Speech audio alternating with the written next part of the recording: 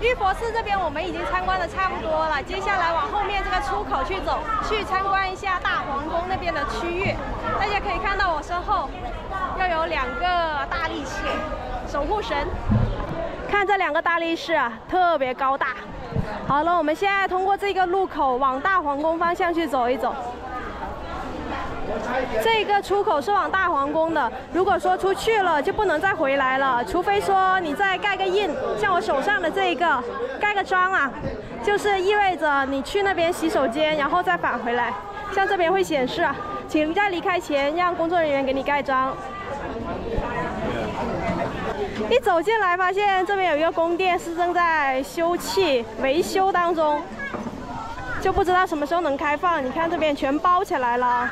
来这边很热，来赶快赶快，可以边走边赶快听。玉佛寺是泰国这边的皇家寺庙，而大皇宫则是泰国国王、王后居住的地方。但实际上呢，现在王后跟国王好像是不在泰国这边，常年是居在了德国。现在来到大皇宫的区域了，刚才那边是不开放的。接下来我们看一下面前这个宫殿，哇，特别的雄伟，走近看一下。就特别的庄严肃穆，这一座建筑特别有特色。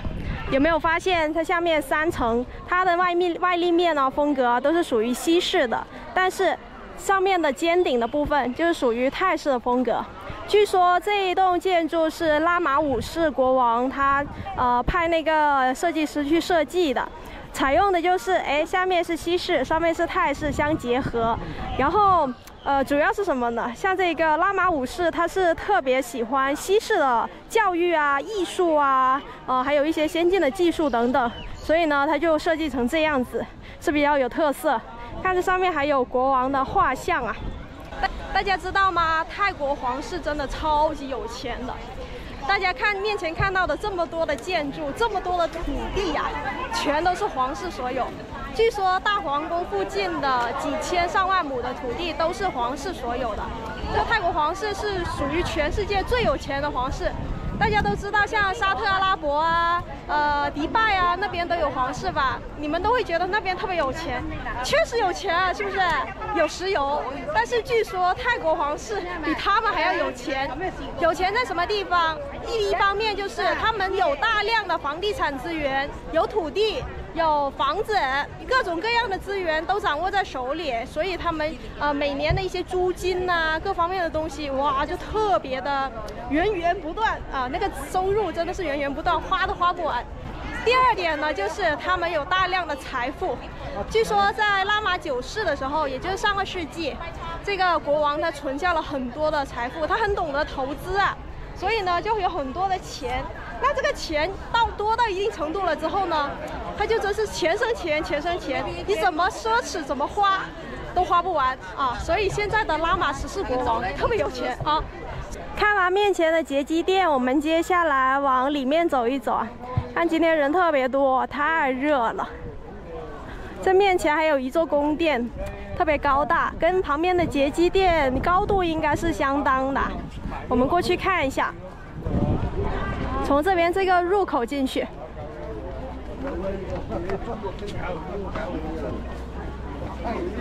太热了，我要晒蔫了，朋友们啊！后面这一座宫殿呢，叫做绿石殿。都说泰国全年无淡季，大家可以看到了，有很多的旅游团，源源不断的。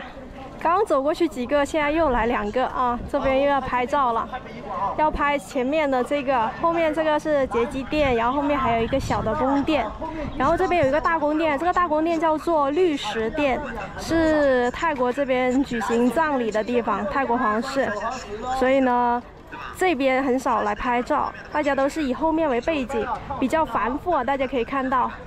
前面的这个宫殿，金黄金黄的，金光闪闪。